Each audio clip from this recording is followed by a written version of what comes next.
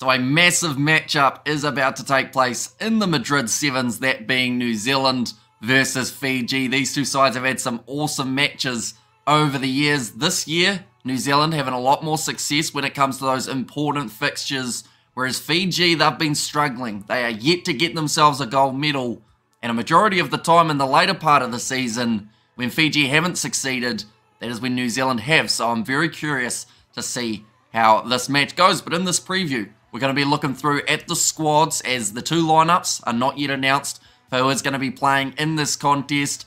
The previous fixtures for them in the last leg of the sevens, that being Singapore, and then also at the end of prediction, who we think will win this match. But we will start with the squads. First of all, the Fijians. Their squad, it was announced a little while ago.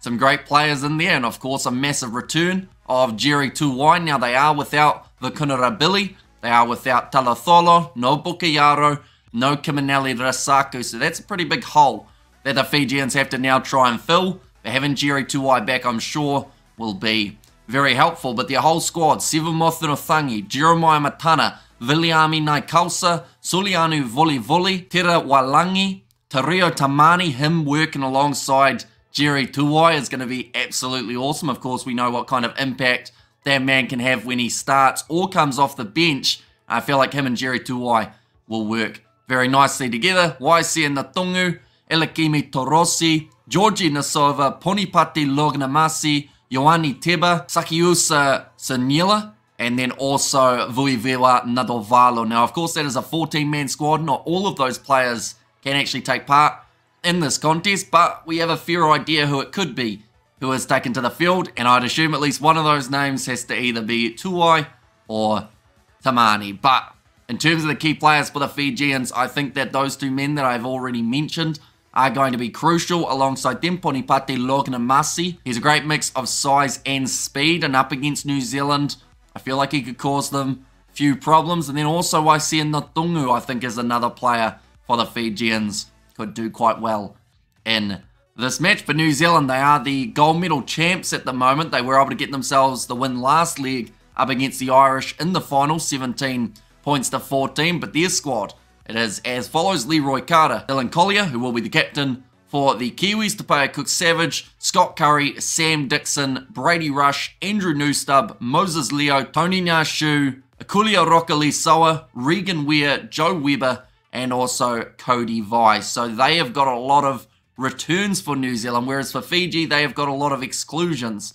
Whereas New Zealand, we get to see Rokolisoa back, we get to see Dickson back into the side as well, and I feel like it's going to be a very well-rounded side for New Zealand in this competition. Now, key players, Leroy Carter's pace and aggression always matches quite nicely with the Flying Fijians. Akuila Rokolisoa, the way that that man skips through a gap and creates opportunities for his side, it's definitely going to help them in this game up against what will be a bit of an adjustment period for Fiji. We've got to remember, I mentioned four names. Three of those players were actually playing together in Singapore, and now they have to remake those new adjustments, see whether or not they can get it right. And I just realised I didn't even mention Manueli Maisamoa. There's another player for Fiji who they don't have available in this game. I think that New Zealand, they'll have a little bit of an advantage early on in this match, but it's whether or not Fiji can gel throughout that second half. We know that they are never out of a contest. We've seen it many times over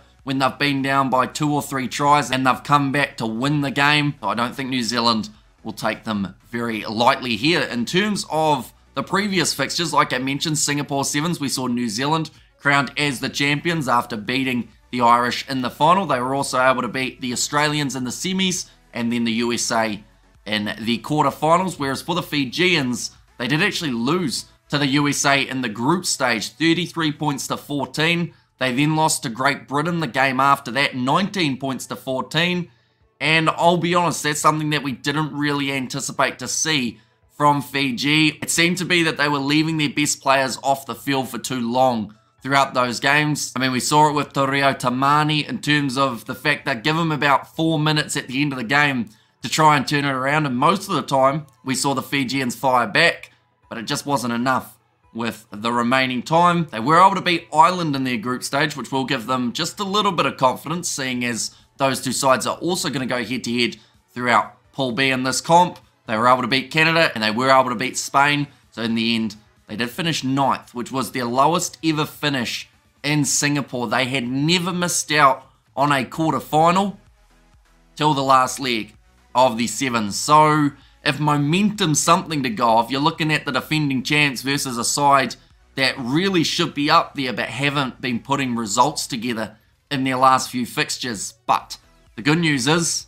the sevens, it can change in an instant. We've got a new week, we've got a new comp, and this one is the massively important one. The Fijians, in the biggest occasions, are normally a side that are able to step up, but I'm still going to say New Zealand to get themselves the win, and I'm going to say New Zealand win it 26 points to 7. Now, that seems pretty harsh, but I'm hoping that I slightly jinx Fiji and they come out firing.